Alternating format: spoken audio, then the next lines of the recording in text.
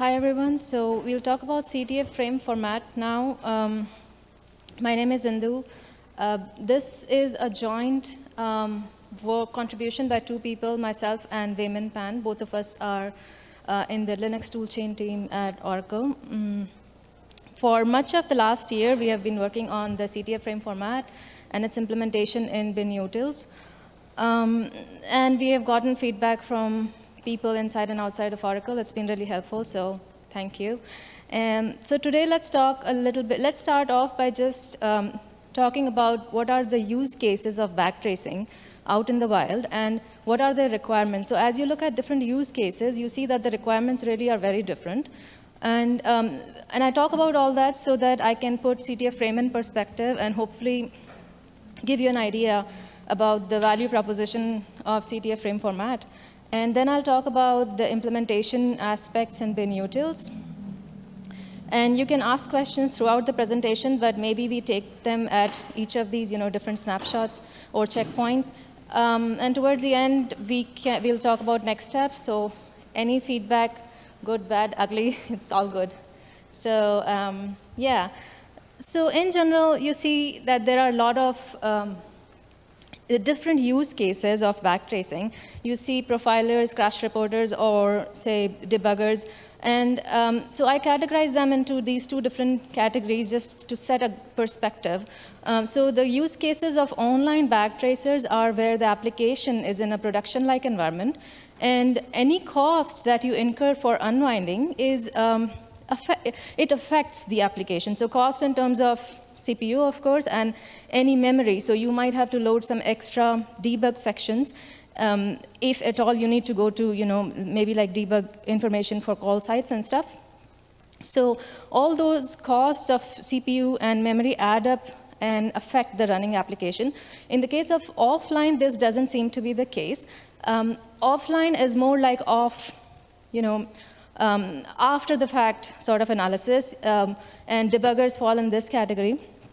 So then let's talk about what are the common requirements for um, online backtracers. So uh, in all these cases, asynchronicity is important. You do want to backtrace from any given PC all the time. Well, okay, let's define it like that. And then uh, the unwinder itself needs to be very fast and precise.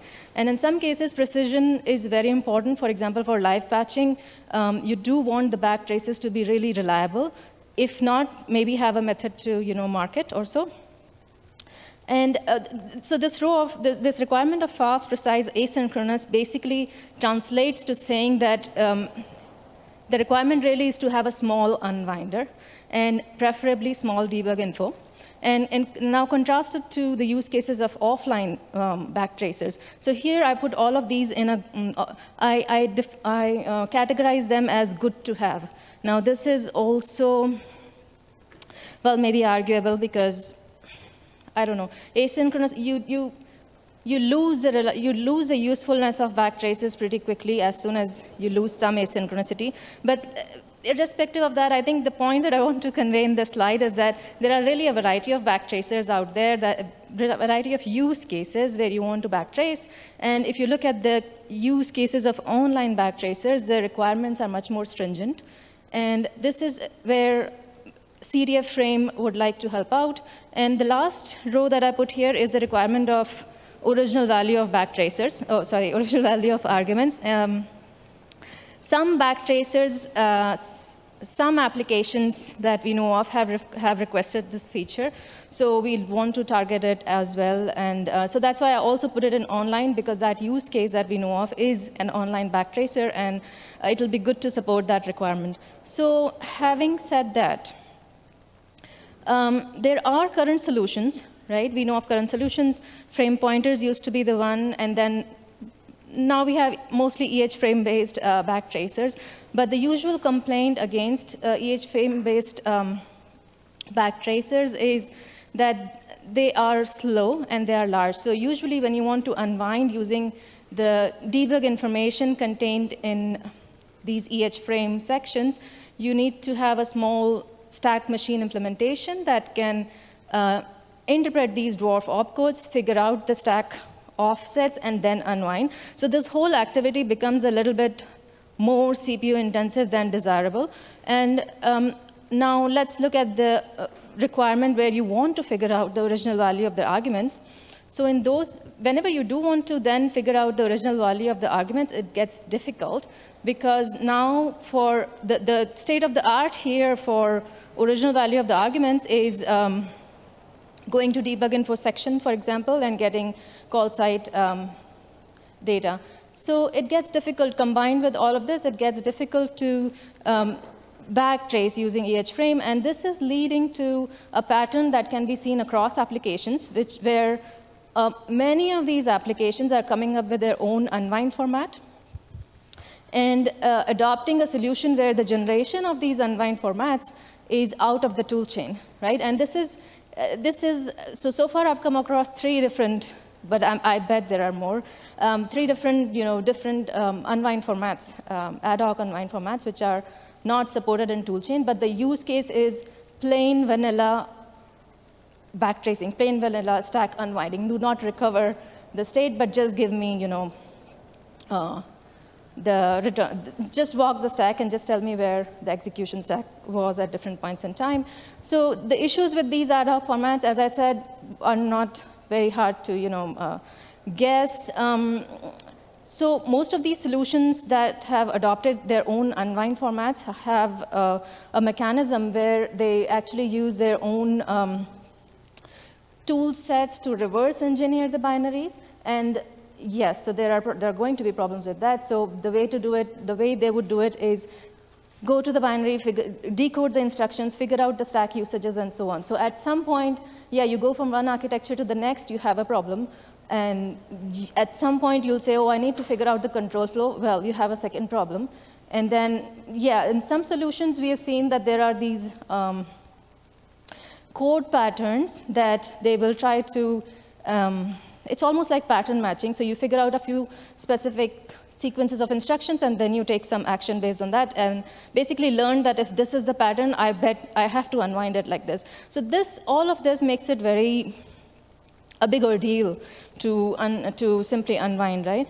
And um, it is clear when you look at all of these different the different you know, unwind formats and the solutions that these applications are adopting, that the unwind format the unwind metadata has to be generated in the toolchain, right? It is the best suited entity to generate um, the unwind metadata.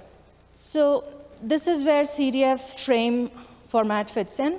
So uh, thinking here is that if you can tap these requirements and come up with a format supported in toolchain, it ought to help these um, applications for just backtracing.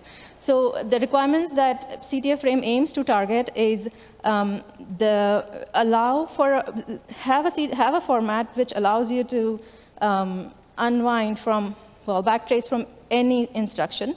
Uh, keep the format simple and compact. So do not have any complex expression encodings and no stack machine so that the unwinding business itself is simple and easy.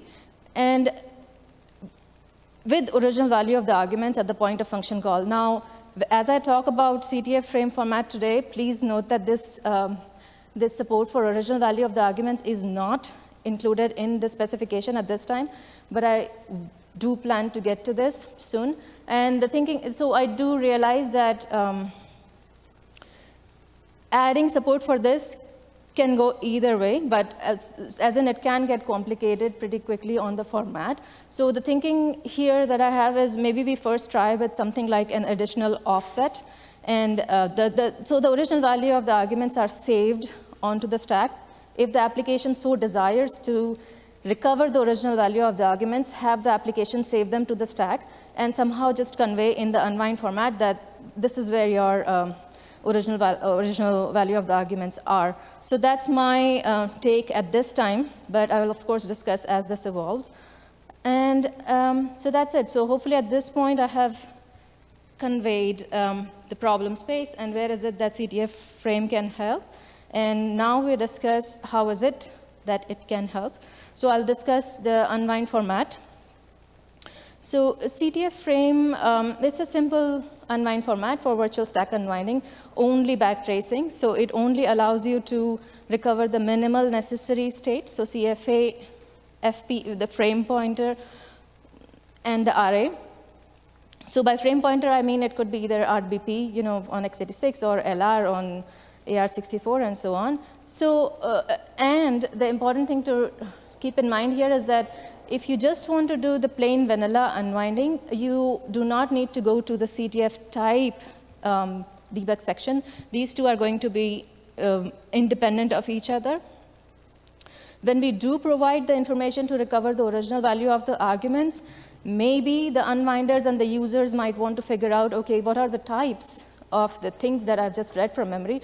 In those cases, yeah, you may want to go to CTF, but for plain vanilla unwinding and maybe even recovering the original value, CTF frame unwind section should be enough.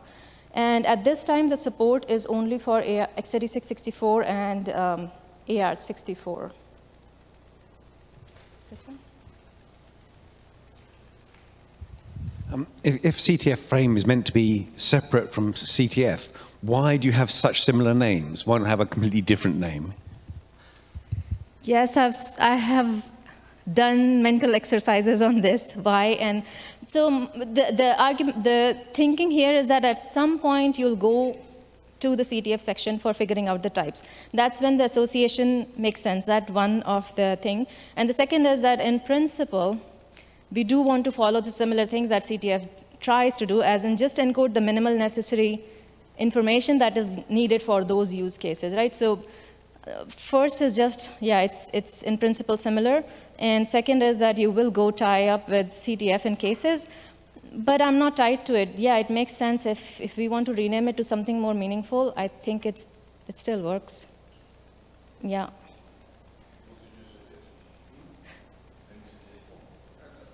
Yeah.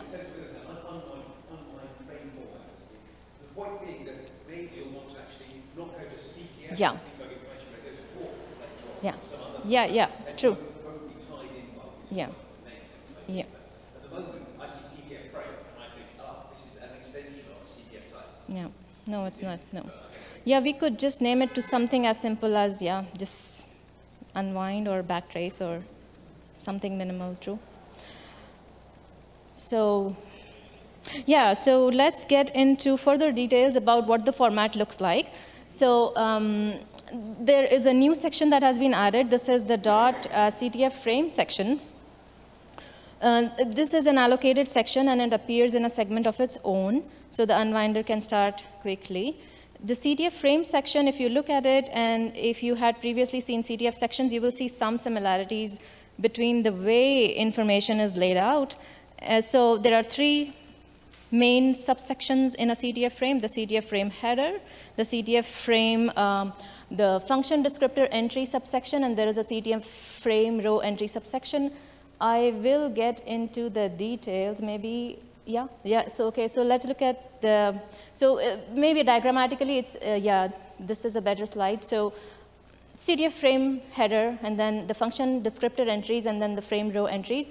Um, let's just, uh, yeah, so let's just say that in, from this slide, the main takeaway is that the way to go around getting information from CTF frame is that you follow offsets, right? So, so you first land at the header. If you want to go figure out where is the unwind information for a function, so you figure out the, uh, the offset of the FDE where all the function information is stored, and inside this FDE you have the offset for the, you know, the back, the, the, the unwind information exactly here. So yeah, I think the only takeaway from this slide for now is information is organized in these three different subsections, and the way to recover information is usually, no, it's always using uh, offsets. So CTF frame header contains very, um, yeah, basic information, which is that first it identifies what is the ABI or the architecture that you're working with. So it, at this time, it identifies three of these flavors. Um, there is a flag, flag um, eight bits for the flag. At this time, there are two flags. One of them says, the first one is CTF frame uh, F FDE sorted, which basically says that the, uh, the Function descriptor entries in this section are sorted on the start PC. And the second is F frame pointer. Now I added this and my thinking was, um, isn't it useful for the unwinders to know that the application had been compiled with frame pointer. So I thought it was, and I added it, but my trouble here right now is that I have no way of generating it in the assembler because the assembler doesn't know. Um, uh, so if you have some solutions there, or if you think this is not so useful, then we can take a second you know, opinion on this. so moving on, there is the CTF function descriptor entry. So think of this as, so this is, I think Dwarf also calls the frame descriptor at uh, the FDEs. So this is very similar. In principle, it wants to convey the same, similar information that at a function level, what do you need to know to unwind, right? So in this case, what you convey in the function descriptor entry is um, what is the function size in bytes, what is the start PC, and what is the FRE type. We will talk about this FRE type. So basically think of different encodings that are allowed in the format for an FRE. And at this level, you identify, OK, what is it that I'm going to see in the memory? And the number of FREs, again, let's wait for a bit. We'll figure out what FRE is. This is a fixed length encoding. And this allows the unwinder to quickly do a binary search. If you want to figure out, you know, if, the, if when the unwinder wants to know where is the unwind information. Um, yes, so CTF frame row entry um, it's a variable length entry. And uh, what it tells you uh, is the following. So for a range of addresses, for a range of addresses starting at a specific offset, how is it that I should unwind? And the only thing that it gives you is uh, the offset. So it tells you these are the stack offsets from where you can recover the CFA or FP or the return address, right? So it is a self-sufficient record. It is a self-sufficient record that contains this unwind information, and it is for a range of contiguous addresses. Now, you may note that I do say RA offset, but for some architectures, you don't need that offset because, say, for x86, you know that this is uh, going to be saved on the uh, stack always. So, you know, so once you recover the CFA, then it's known where the RA is going to be. So Yes, so this, now I'm getting into more, uh, you know, precision around how we have encoded the CTF frame row entry data structure. So basically there are two of these knobs using which you try to make it as compact as possible. So think of a function where, you know, so you know how large is this function is going to be. So if it is small, then you can also, so you can use the number of bits uh, needed to encode the addresses um, based on the size of the function. So that's the first knob. So you figure out what, how many bits do I need to encode this uh, address offset. So you have a choice between one byte, two byte, and four byte. And the second sort of knob is the stack frame offsets. So also a function may not go into you know, large areas of the stack offset. And once it is known how much is that range, you can pick a accordingly sized offset. So uh, Okay, so tying it all together, we know that there are these three knobs you can play around, so which is why there are three of these uh, different data structures. They are very similar looking, but the way they vary is um, in the number of bits that you use to encode the address. So I'm using a GNU pickle, poke pickle here. It has been lifesaver throughout, so it's also lifesaver here. It conveys clearly what is it that the CTF FRE looks like. So, the, so this is the uh, CTF FRE address one, which basically says that the, for start addresses, I'm going to use just eight bits. And after, and the, after that, there is a fixed length structure, which is FRE info. So think of this, again, as some sort of metadata that you need to know as you go on to read these um, offsets. So these are the three stack offsets. And basically what will appear is either all 8-bit offsets or all 16-bit or all 32. So these are the stack offsets using which you recover the CFA, FP, and RA. Right? So this is address 1. And again, the second data structure is for 16-bit addresses um, in the function. And address 4 is 32 bits. So um, yeah, so with this, I hope I have given you some understanding of the format. So we tie it up all together. So we saw that there were three of these subsections. Um, the header, we talked about what is, the F, what is the FDE, the function descriptor entry, what does it look like. And then we saw what, are, what is the data structures that you could use for, how is the FRE representation. So um, now what we add in this uh, slide here is how is it that the information lookup is done and how do you make it fast? So first is this, that the CTF FDEs are in ascending order of start PC. So this essentially serves the same purpose as EH frame header, right? So it allows you, it's an index. It allows you to uh, quickly find out where the information, where the unwind information is going to lie. And the second thing that you note here is that the FREs of a function are always contiguous.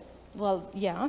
And so the way to land to an FRE is when you have an FDE, it gives you the offset of where the FREs are going to lie for that function. Now, a function may have variable number of FREs, of course, right, depending on how it changes the stack as the control flow in it changes.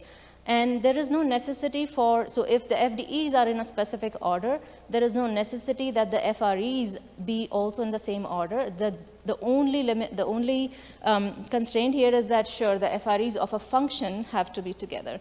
So it's not really a limitation per se, but it's just, I'm saying it out loud so that, you know, some of these things are clearer as we go. So with that said, there, we talked right now about the CTF frame format. This is being uh, specified in the CTF frame header. The definition you can see in the CTF frame header at this, at this point. Uh, there is also GNU poke pickles. It could use some more documentation, but it is up to date. Definition-wise, it's up to date. It could use some more comments, which I will add. Uh, so we talked about CTF frame format, why it's why it can solve some of these problems and how it can solve some of these problems, right? Uh, it's, a, it's a simple unwind format that allows you to just simply, you know, it's fast and simple to backtrace. Um, before I wrap up this part of the section, I do want to share this slide. And with this, I do not want to convey any, anything like this is way smaller than EHFrame or not. Uh, EHFrame is great at what it does. It's very compact. So the, when I started working on the CTF frame stuff, I was a bit worried that because this format encoding looks like interpreted dwarf, is it going to be too large or where is it going to land? So if it is large, then we still have to think twice about it.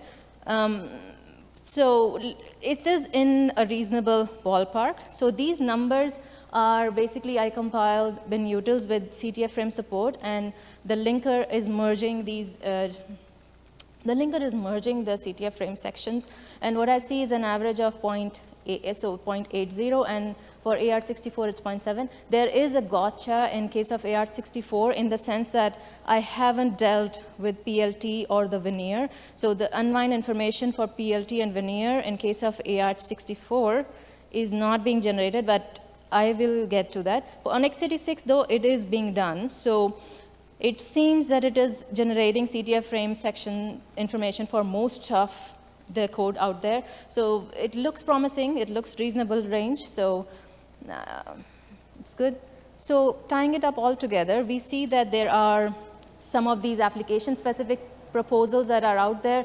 There is CTF frame that we talked about today, and we know of dwarf-based solution, which is based on EH frame. So I just want to put it all together and just give you a perspective of where do all of these uh, lie. So asynchronicity, um, dwarf is great. It just does it perfectly.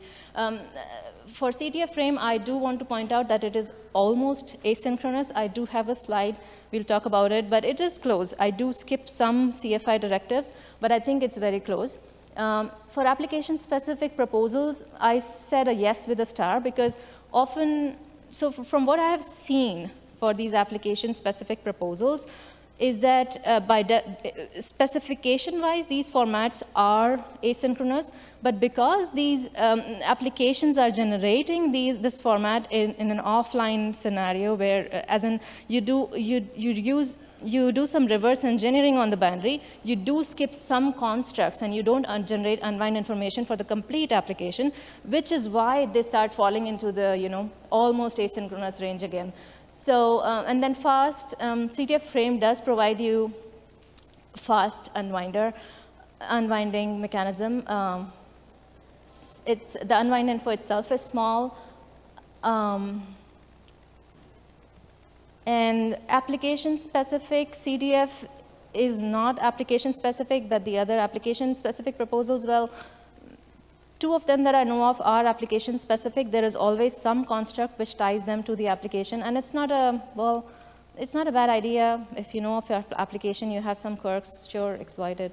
But it doesn't translate well as in, yeah, you have all these problems of this bifurcating space of so many unwind formats and then, you know, at some point your generation logic just, you hit a, you hit a bottleneck as in scaling your um, generation logic and so on. Um, yeah, so which is why I, which is what I want to get at mainly is that the, the value proposition here is that the CTF frame format is being generated in the toolchain. So all of those problems are actually taken care of, provided you still are interested in only these two architectures, of course. Yeah. so it's, um, uh, yeah. Uh, but we could, we could talk about it, like we could see what other architectures may need and we can extend this, but at least, at least it's a first right step of doing it in the toolchain, I think. Um, so with that, I'm going to move to the implementation status. If there are any questions around the format in general, um,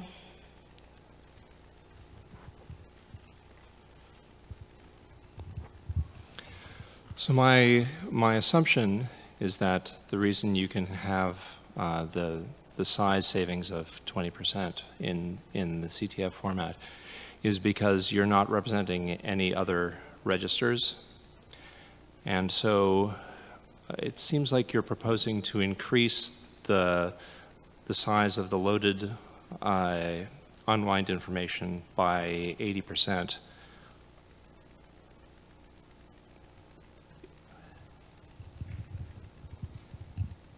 By 80%, no. But, um, but yes, if you look at it from that perspective, it is increased on metadata. But because the two formats are so different, this is bound to happen. Right? So unless you do it in an interpreted, unless you store the stack offsets directly, it's going to be costly. And that's the whole reasoning why, why it ends up being CPU intensive as you unwind using EH frame. So have you looked at using only the parts of the EH frame that define uh, the CFA, PC, and uh, I wonder how far you get with it. So,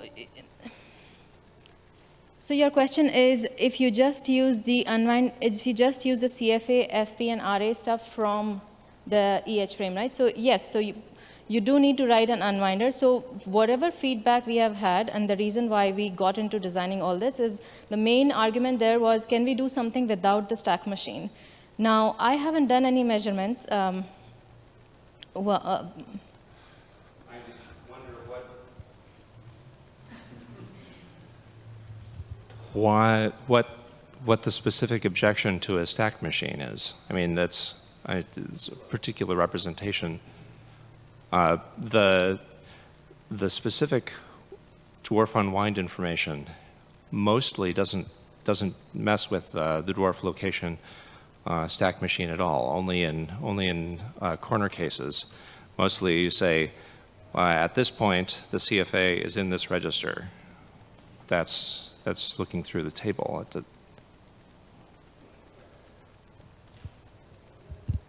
So you do need to execute these dwarf opcodes, right, to figure out these stack offsets. So that's one of the argument that this is a CPU intensive activity and maybe if there is a simpler way to do it, just give me the offset somehow. So then this is taken care of, right? So as in, so this reduces your overall uh, cost that you will incur to unwind. That's one. And I was about to say something more to it and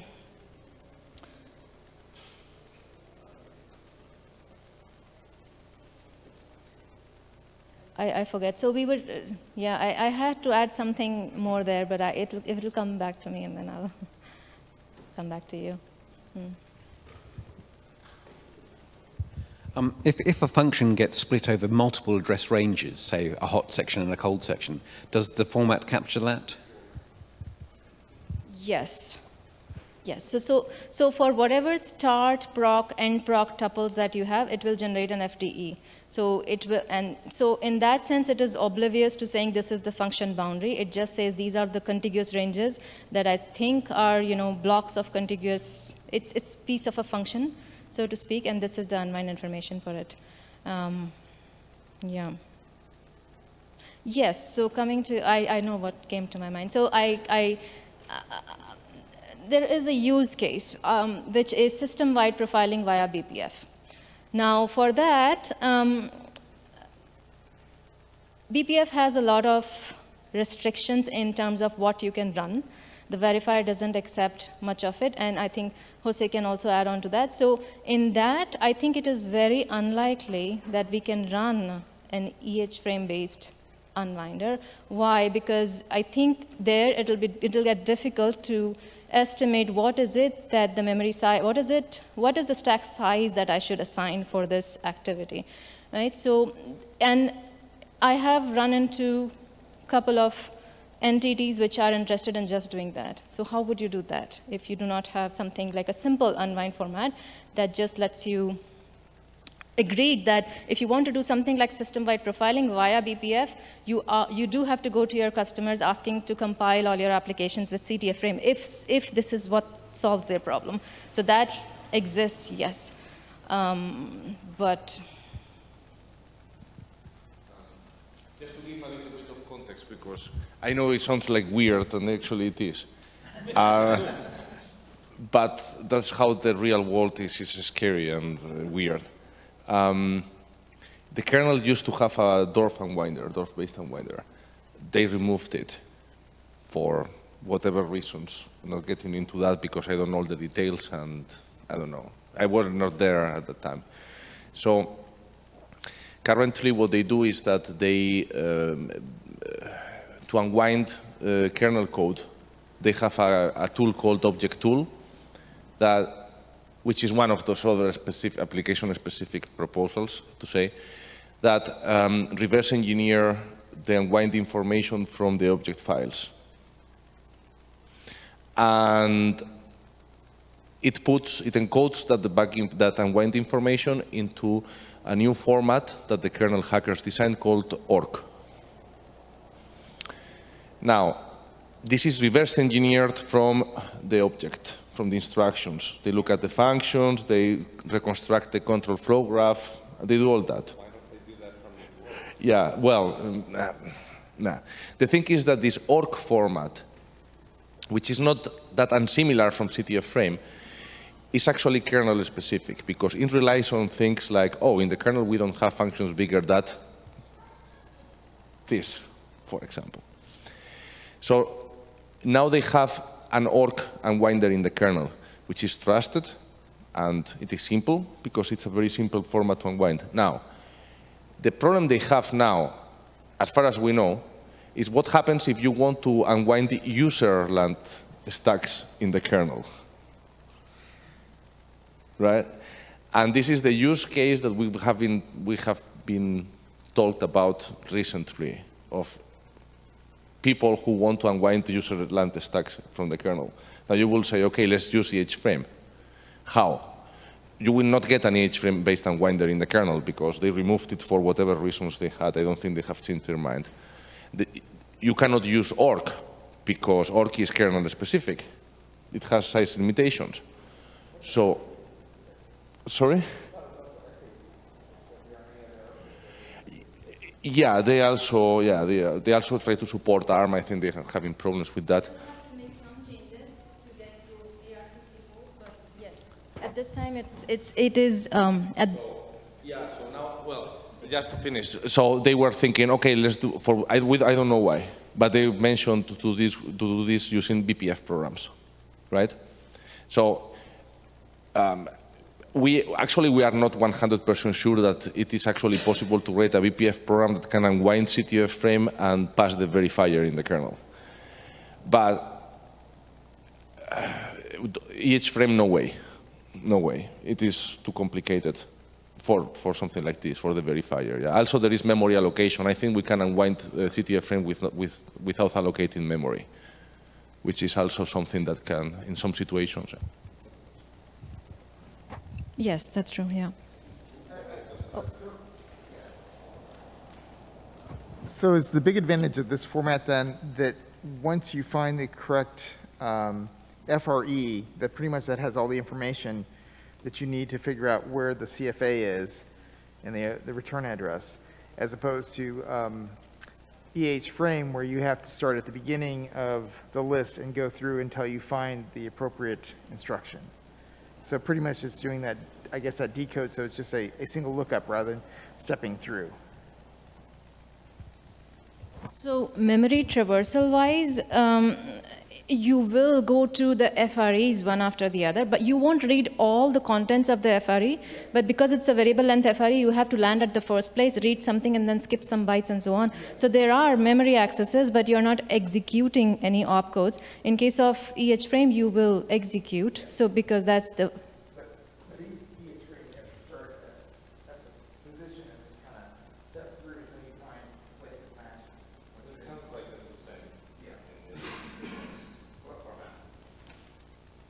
Well, I mean, you gotta find which one covers it, yes.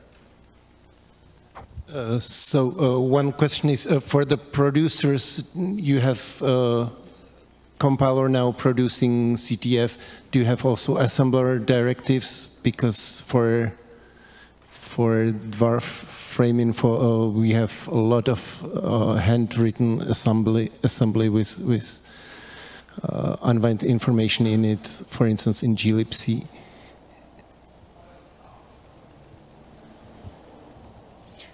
So yes, uh, I will talk about the implementation aspects next, but this is a, there is a new command line argument that's passed to assembler and which will, basically what it will do is process all the CFI directives and generate CTF frame. So it's not at, so does that answer it? It's an additional um, command line argument and a directive.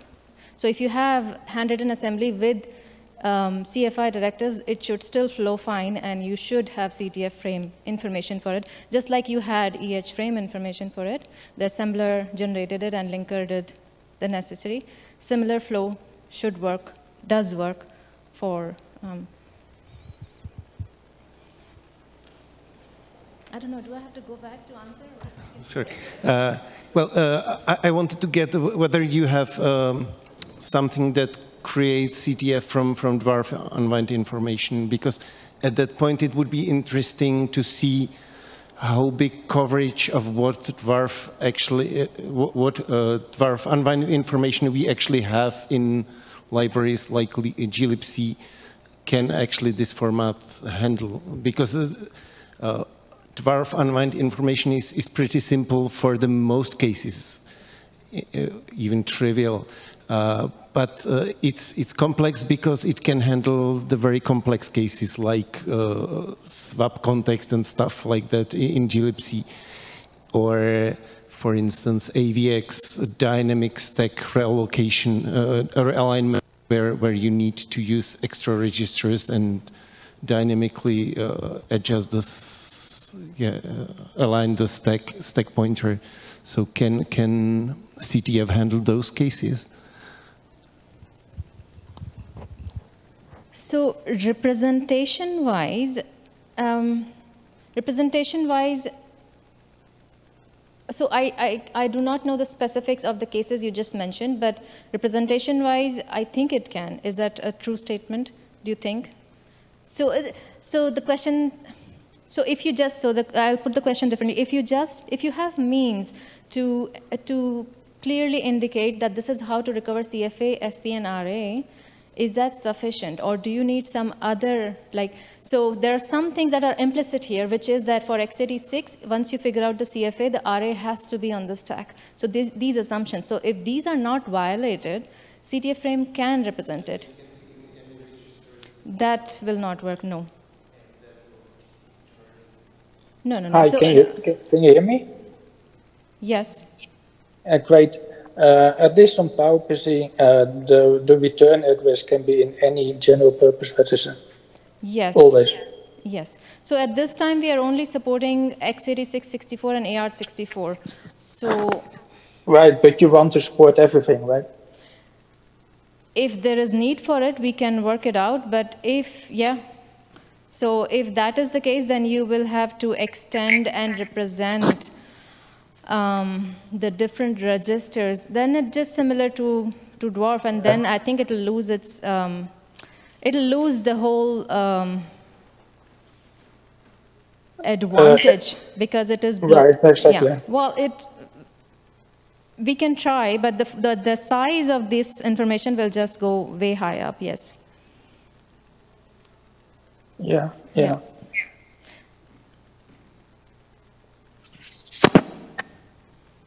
Okay, maybe I go on quickly to just discuss the implementation. I have 15 minutes, and um, uh, we added, we have patches that we posted for support in the assembler, linker, obj dump, and readelf. Um, V6 patches were posted and reviewed. I have to work on them. I will um, as soon as I get back. And uh, most of the review comments have been taken care of, but I have a few things to do there.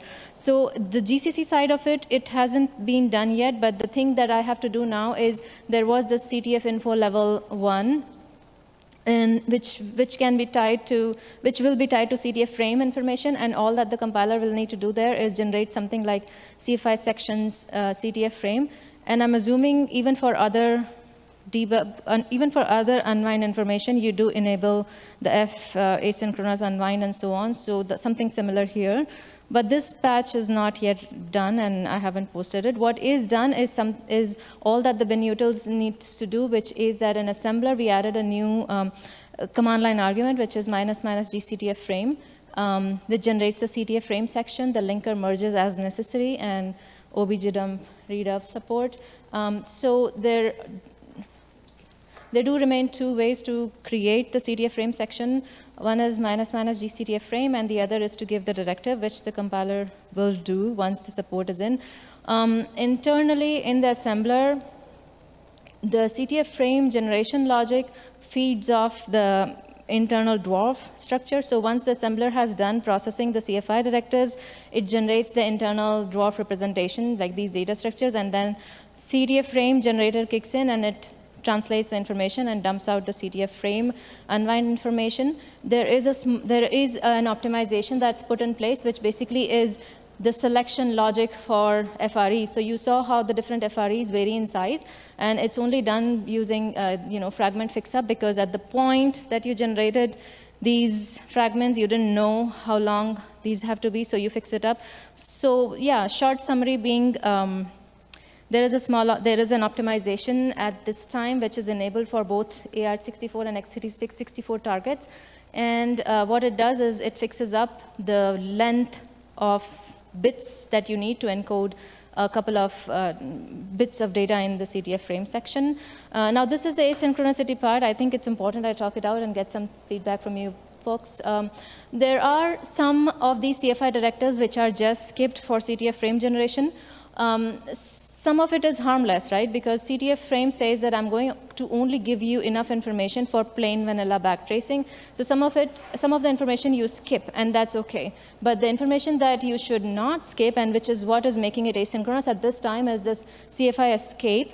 Now, the cases when the compiler does generate CFI escape, um, I did not have an easy way to, you know, parse it and process it in the assembler.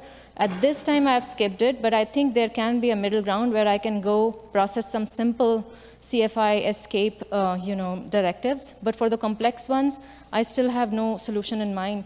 And for the negate RA state, this affects AArch64 only, right?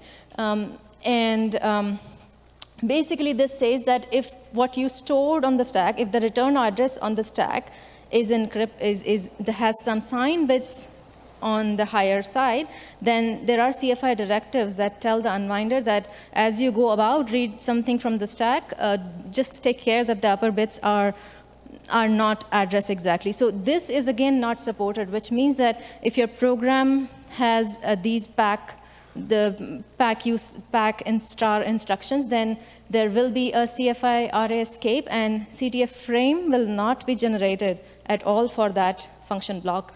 And this is, this, these are the two cases where it's making it asynchronous.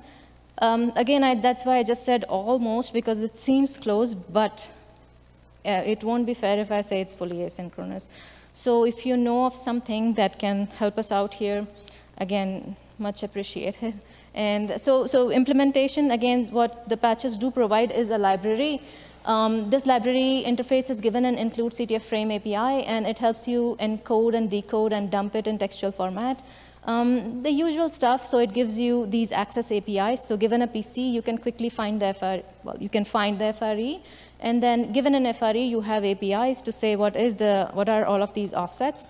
Um, this library is used by the linker and also the CTF frame unwinder. So we have written a small, Weimin has written a small uh, unwinder which sits in the, uh, which is which is provided via libctf backtrace. It allows you to unwind using um, CTF frames section. I will talk about libctf backtrace. I do have some questions there, as in where does it sit exactly, where should it sit? Um, linker implementation, I think we can skip, it's straightforward. It just says that, you know, as a linker merges these input sections, it also makes sure that these FDEs are in sorted order so the unwinder can you know, work about it quickly.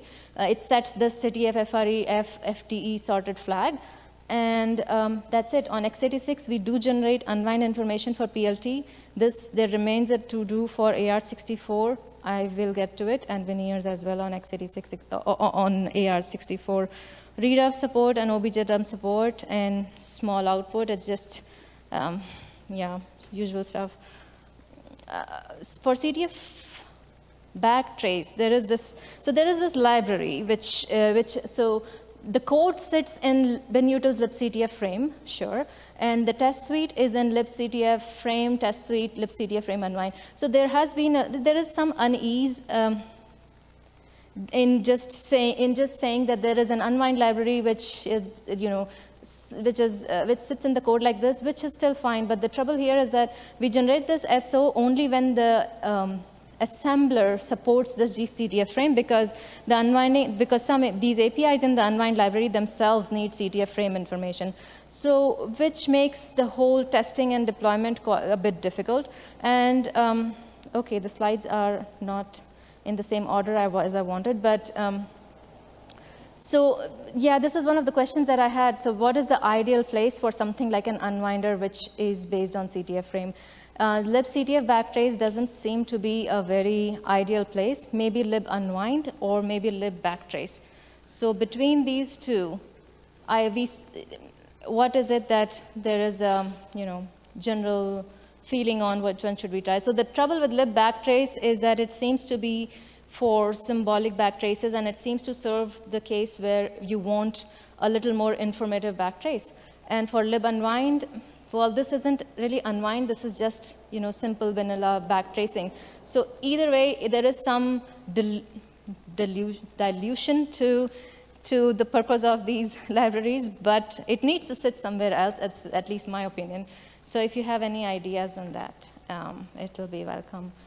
But, so going back to what libctf frame libctf backtrace library gives you is this API called CTF backtrace.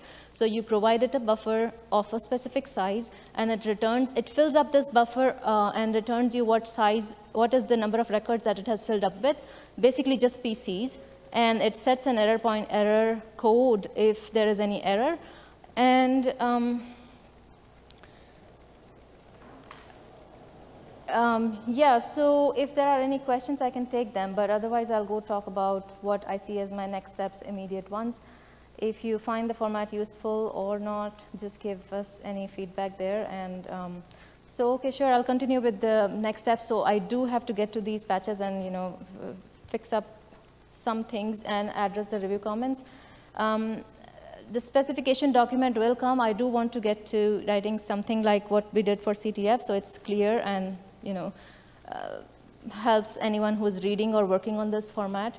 Uh, for AArch64, I do want to get to these two items because there seem to be some interest even in the, uh, uh the Linux kernel guys, so I'll try it out and at some point I do want to see how all of this works out on AArch64 once, you know, um, this support is in. Um, after all of this has settled and um, we want to get into adding support for recovering original value of the arguments. So uh, there were some proposals uh, uh, out there which were basically uh, arguing for adding an additional column in EH frame. I think that also fits with this here that maybe you know we, we, we follow with adding additional support in CTF frame because I think it keeps the whole thing very compact and easily, um, easily recoverable um, original value of the arguments. And I think that is all I have. If you have questions, we can take them.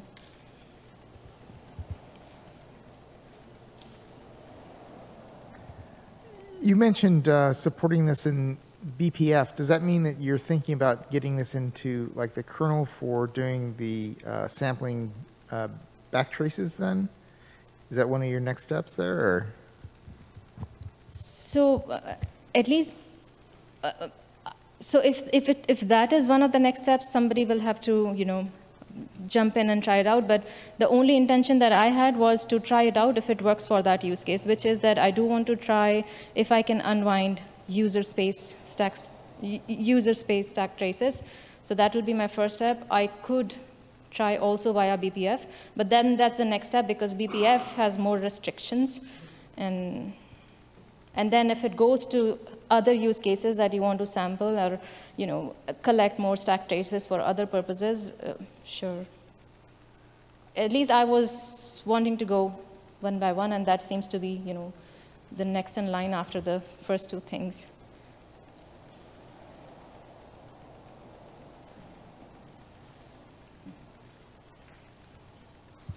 So for recovering the original arguments, you think that users are going to be willing to to accept the cost of all the extra stack space in each, in each call to a function? We have, yeah. So at least they are interested. Now, there is an obvious argument there. People will say, you know, yeah, users might say that this is not something I want to do. For sure, we have a solution already for that space, right? If you don't want to use it, EH frame works very well, right? It's just, um, it's best suited there. But if you do want to pay that overhead, there is this option you could use. Yeah. In fact, even so, this saving on stack space is orthogonal. You, at some point, it might also be a good idea for adding it to EH frame, and in that way, maybe some of the, I don't know. So you were comment, you were hinting at that. So I'm not sure if I make that statement, it's true. So if you do have a stack offset, which tells you where the where these arguments lie on stack, maybe some of the overhead of unwinding that people complain about is now that argument goes void because you do not have to recover using EH frame, you can go recover via. I don't know, so yeah, it's, it's just a supposition at this time, and maybe it will help.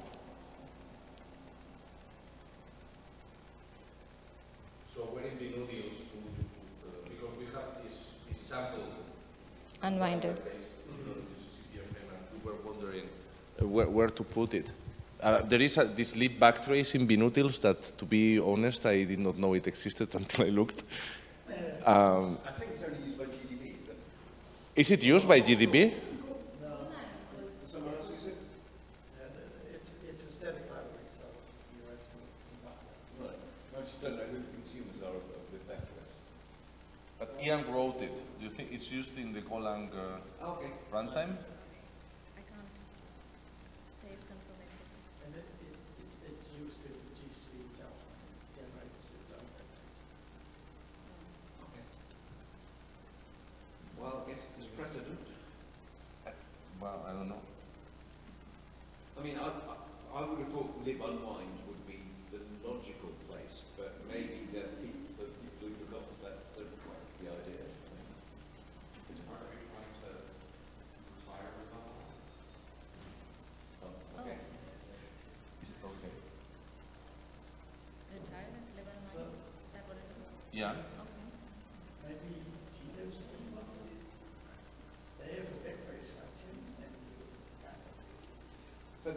this is going to be used. Hmm.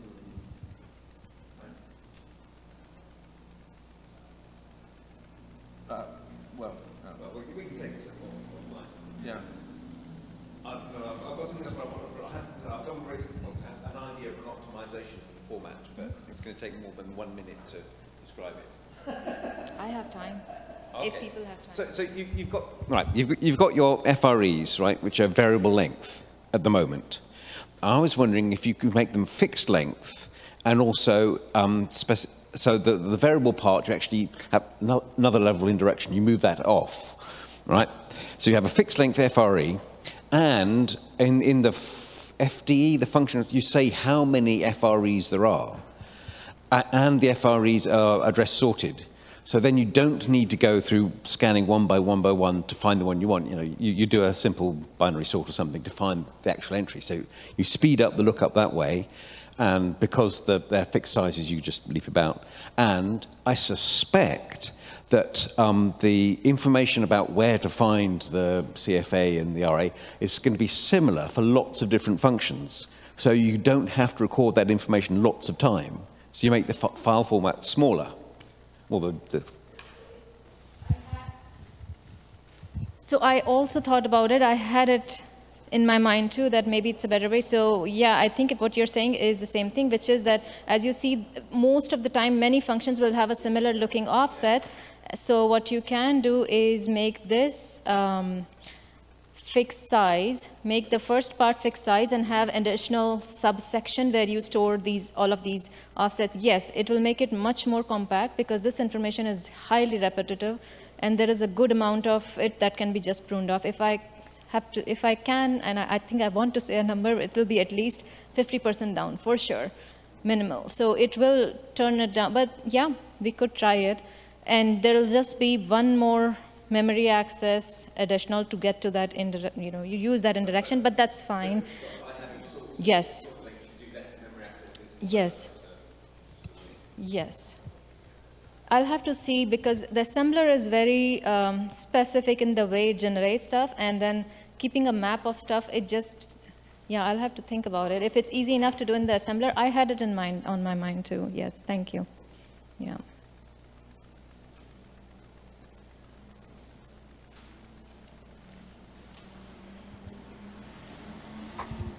Can you unwind through PLT slot?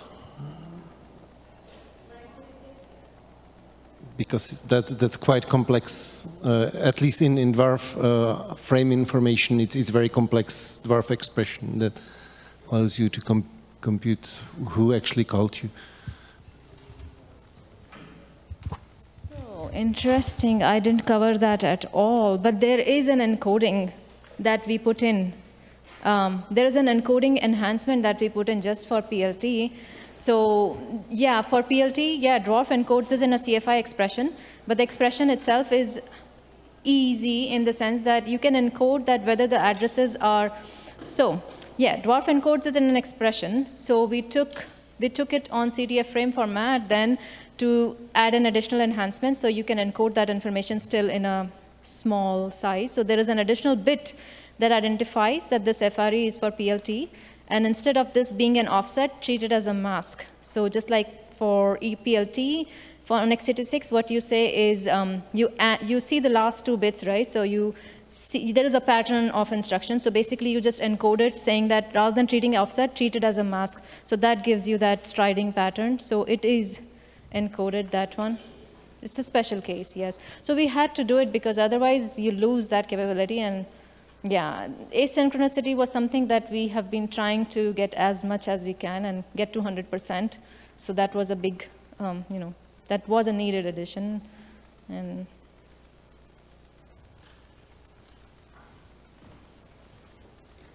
Another special case I, I see in the uh, uh, AMD 64 um, glibc is is the restore RT. Uh, so so signal frame if if it's something you can handle. Yes. so Weimin, I don't know if you're online. Um, Weimin, are you online? No, so he has been looking at that and he will send something. so, yeah.